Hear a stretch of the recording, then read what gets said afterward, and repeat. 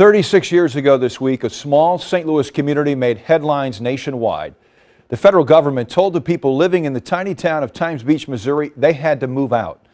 Residents were at risk after a chemical linked to cancer had been spread all over the roads of that town.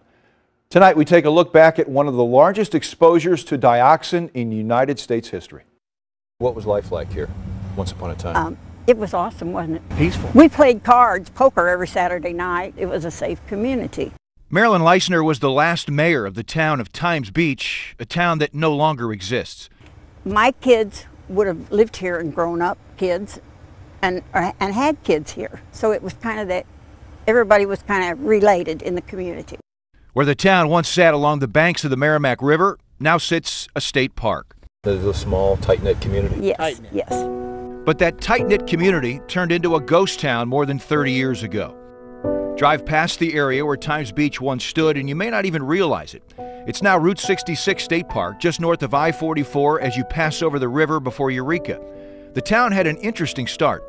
In 1926, the now defunct newspaper, the St. Louis Times, sold off plots of land in the town for $67.50. The paper advertised the spot as a summer resort getaway, and included in the price for the land was a six month subscription to the paper. Eventually, the getaway spot grew into a town of thousands. The homes that housed the hundreds of families had a bit of character. Some of the homes were on stilts because the town sat on a floodplain. Had it been for flooding alone, Times Beach would, would, be well and happy today, and the people would still be here. Yeah. They were determined to come back and rebuild and live here. The town was hit hard by the record flooding in December of 1982 and again in the spring of 83. Did I read that there was really no flood insurance down here? A lot of people didn't have it. There was a few of us that had insurance. But it wasn't the rising floodwaters, but oil that sealed the town's fate. Ten years before the flooding, Times Beach hired Russell Bliss to spray its dirt roads with an oil mixture in order to keep dust down. Little did they know, Bliss had also been contracted to dispose of chemical waste filled with dioxin. And I had no idea, absolutely no idea at all what was in it. Dioxins are highly toxic. They're found in the chemical known as Agent Orange.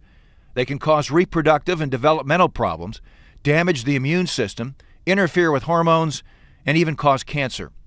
Bliss took the dioxin and mixed it with used motor oil.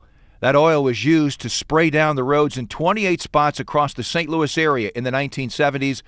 The largest place, Times Beach. Well, the areas where you see the equipment are areas where they didn't find. It was main, mainly on the streets and in the ditches along the streets.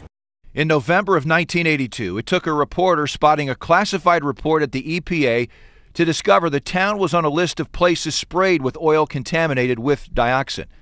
After the floodwaters receded in December, right before Christmas, those who had not returned after the flood were told to stay away, and those who had returned were told to leave. And 36 years ago, on February 22, 1983, the EPA announced the federal government would spend tens of millions of dollars to buy out the residents of Times Beach and dispose of the toxic chemical covering its roads and contaminating its homes. Even with news of the dioxin, at first residents refused to leave and packed town halls with angry residents dominating the local news. The only advice they can give is that there is a health hazard in Times Beach and that Times Beach residents should sell out and move out as soon as possible. The Times Beach folks I've been talking with are just as firm on another matter.